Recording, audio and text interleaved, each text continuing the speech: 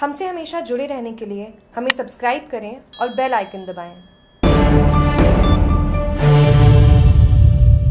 प्रशासन ने कालंडरी में हटाया गोचर भूमि से अतिक्रमण। एसडीएम तहसीलदार व डीएसपी के साथ अतिरिक्त पुलिस जाब्ता रहा तैनात। कालंडरी, गुरुवार को उप तहसील न्यायालय कालंडरी के निर्णय पर भू राजस्व अधिनियम इक्यानवे के तहत प्रशासन ने गोचर भूमि व कालंडरी स्टेट हाईवे के 38 के पास और सड़क के नज़दीक बने कच्चे व पक्के अतिक्रमण को जेसीबी मशीन की सहायता से ध्वस्त कर हटाया।